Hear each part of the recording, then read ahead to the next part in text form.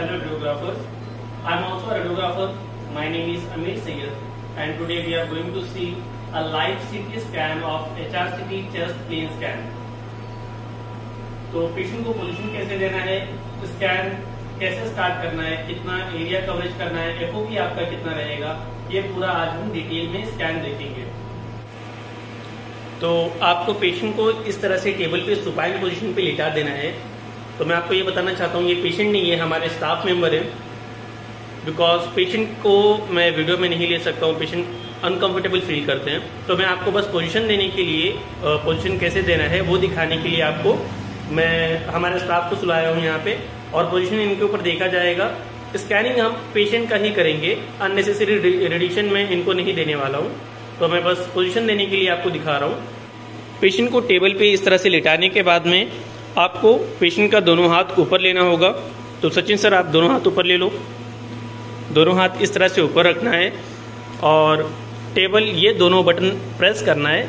इससे टेबल अंदर की तरफ़ मूव होगा और फिर इस बटन से लेज़र ऑन करना है आपको। लेज़र ऑन होगा। टेबल अंदर की तरफ़ मूव करना है। आपको दो लेज़र यहाँ पे शो हो रहा होगा, एक यहाँ पे और एक यहाँ पे। तो जो गैंड्री के अंदर के साइड में जो लेज़र है पोजीशन उससे डिसाइड होता है पोजीशन उससे सेट होता है कि बाहर वाले लेजर पे आपको ध्यान नहीं देना है, अंदर वाले लेजर से आपका पोजीशन सेट होता है। तो आप चेस्ट का स्कैन कर रहे हैं तो आप चेस्ट जहाँ स्टार्ट होता है मीन्स आप चिन पे यहाँ पे लेजर दे सकते हैं। टेबल इस तरह से अंदर पे, अंदर की तरफ़ मूव करना है और चिन पे जब ये लेजर आएगा, अंदर वाला लेजर यहाँ पे स्टॉप करना है। लेजर को आपको ऑफ़ करना है लेजर लाइट ऑफ़ हो गया। उसके बाद में इस बटन से आपको ज़ीरो सेट करना है। अभी यहाँ पे डिस्प्ले पे आपको कोई नंबर नहीं शो हो रहा है। इस बटन को आप प्रेस करेंगे तो यहाँ ज़ीरो सेट हो जाएगा।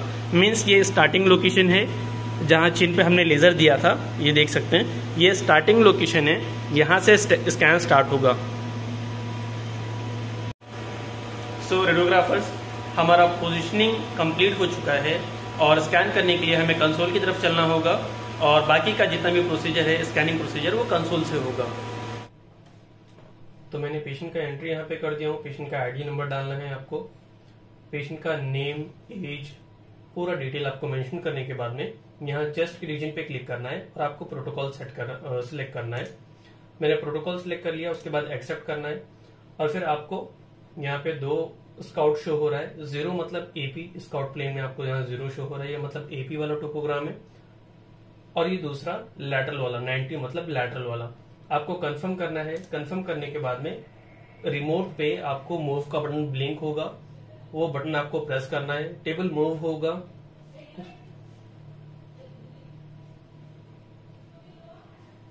मूव होने के बाद में जब रिमोट पे स्टार्ट का बटन ब्लिंक होगा तो आपको स्टार्ट पे क्लिक करना है।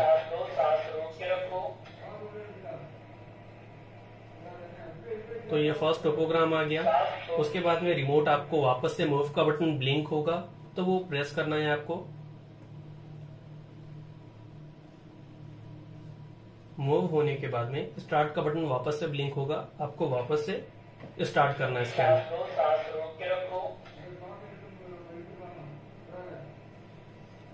तो अब हमारा ये दो टोपोग्राम आ गया है। उसके बाद में नेक्स्ट सीरीज़ करना है आपको प्लानिंग के लिए।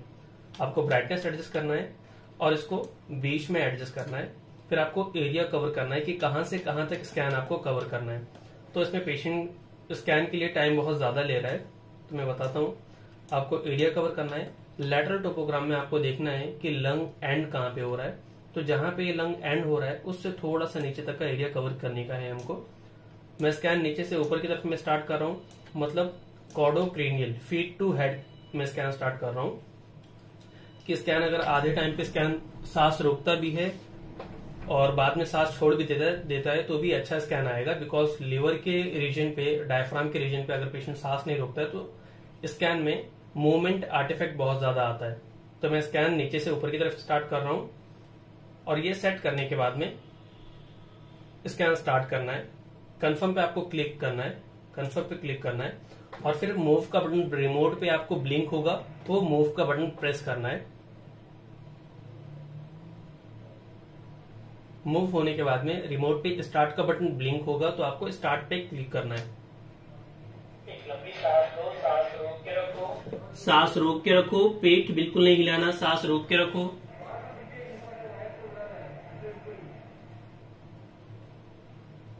ये स्कैम होता हुआ यहाँ पे शो हो रहा है। आपको इस विंडो पे कर्सर रखना है और कीबोर्ड से F8 का बटन प्रेस करेंगे तो ये लंग विंडो पे कन्वर्ट हो जाएगा। आप लाइव स्कैन देख सकते हैं लंग विंडो में स्कैन कैसा आ रहा है।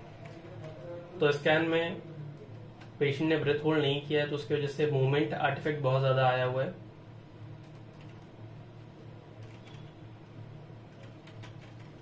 तो मैं पेशेंट को एक और बार एक्सप्लेन करके आऊँगा सांस अच्छे से रोकने के लिए, फिर वापस से स्कैन स्टार्ट करेंगे। तो मैंने पेशेंट को वापस से इंस्ट्रक्शंस दे के आया हूँ। पेशेंट को एक्सप्लेन करके आया हूँ सांस कैसे रोकना है। तो अभी ये स्कैन खराब हो गया तो हमें स्कैन रिपीट करना होगा। उसके लिए क्या करना है? यहाँ जो तीन डॉट दिख रहा है, इस पे क्लिक करना है और आपको रिपीट सीरीज़ पे क्लिक करना है। तो ये सेम सीरीज़ आपको रिपीट हो जाएगा। ओके करना है। सेम सीरीज़ रिपीट हो जाएगा। उसका प्लानिंग भी यहाँ पे कॉपी हो जाएगा। उसके बाद में आपको कंफर्म करना है। वापस से प्रेस मूव का बटन जो है ना रिमोट पे ब्लिंक होगा। आपको मूव का बटन प्रेस करना है।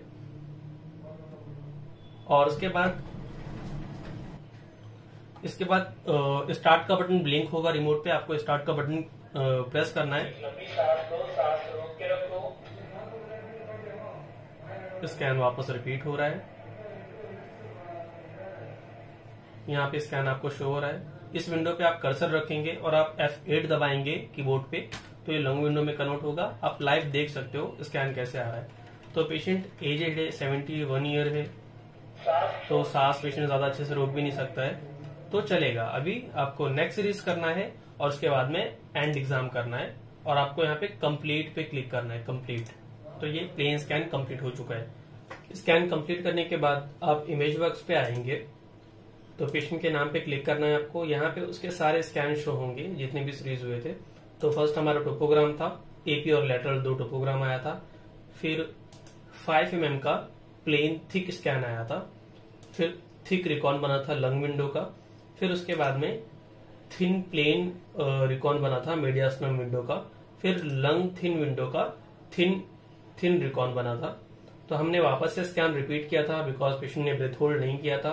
तो ये सेकेंड स्कैन है थिक मीडियास्नम फिर थिक लंग फिर थिन मीडियास्नम फिर उसके बाद में थिन लंग तो ये स्कैन आपको शो होंगे और इसके बाद में आपको फ़िल्म बनाना होगा।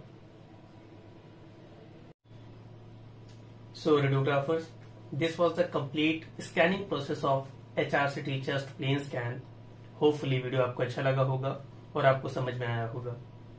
अगर आपको रेडोलॉजी रिलेटेड किसी और टॉपिक पे भी वीडियो चाहिए तो आप मुझे कमेंट बॉक्स में सजेस्ट कर सकते हैं।